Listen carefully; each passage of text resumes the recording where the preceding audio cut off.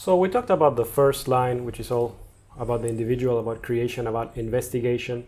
How does the story continue? How does this evolve into the second line? The second line, in a way, is the most um, confusing and unclear for most people because, on one hand, I mean, one of the names for the second line is the hermit. So you would imagine actually like a lone wolf, kind of like the first line. Yeah. But actually, so much of the second line is about, and because we have the number two, you know, we have this separation actually. Now it's not just one, there's this two. And so there is actually an obsession with the other, with something else, with relationship. And so actually, a lot of the second line is about relationship, but at the same time, it's also about being alone. So it's a very uh, interesting dynamic. The second line um, is obsessed with that one thing. And it can be that one person like that one relationship or it can be that one gift talent mission whatever it is. It's said that the second line um, has a tendency towards natural talent actually. Uh, the second line and it's called a hermit because the second line can be so involved actually in what it's doing. And usually like the, the people usually will look at the second line like, wow, you're so good in this, you're so talented in this. And usually people will try to get the second line to get out into the world and to help people or to share actually this gift that they have. Uh, and so the second line is all about marriage, and marriage not just in the sense of relationship. That's why it's also called the hermit. It can be simply marriage to your obsession, marriage to this gift actually. And so they can be just practicing their craft, you know, and, and, and just doing their thing and not really caring. They don't care so much about the world. That's why they're called the hermit. They're deeply, deeply involved and obsessed with that one thing. Mm-hmm.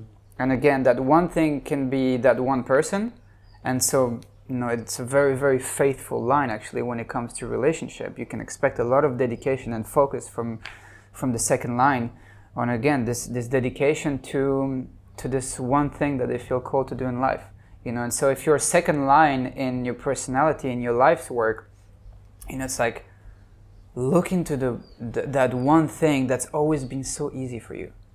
For them it's because that's the thing that they're not really here to work hard on on their thing.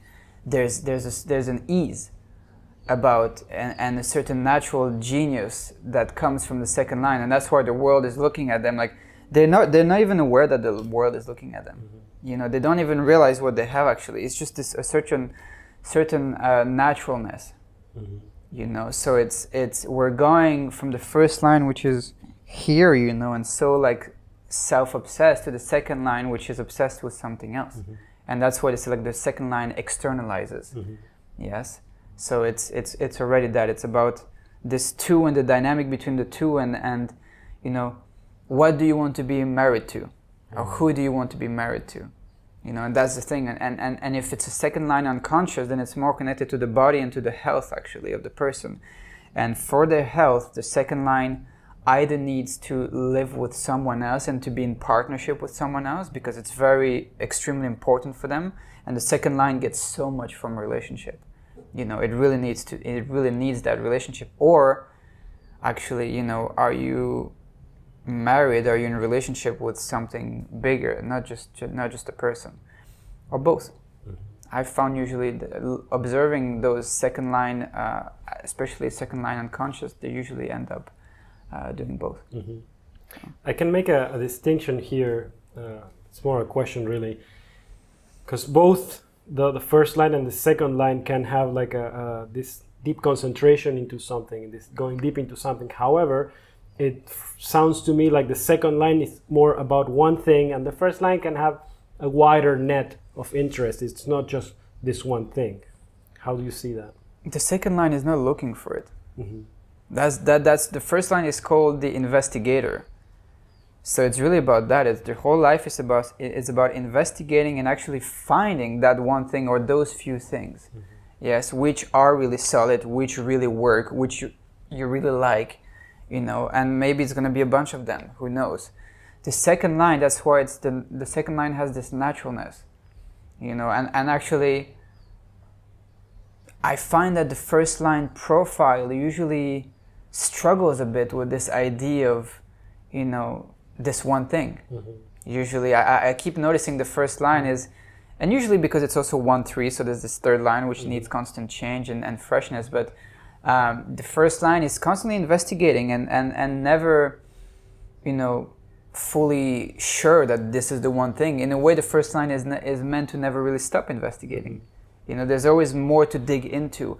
The second line comes already like, yeah, I'm, i have this thing inside, mm-hmm. you know, and it's just about externalizing that mm-hmm. that that gift. So it's it's it's that's where the difference is between the between the two lines. Mm-hmm. Is there any particular advice or guidance or maybe a tip that you can give to anyone that has a uh, line two, but is just in the first steps of um, embodying that knowledge? Well, especially if you have a line two uh, in your design, so the second number. Um, yes, relationships, yes, dedicate yourself to this and that, but time alone. Mm-hmm. This thing of the hermit. You, you need for your health time of being alone in your own thing uh, and without any disturbance. You know, you need to honor this hermit inside actually. So it's really important because the world, anyways, is going to keep pulling you out of it.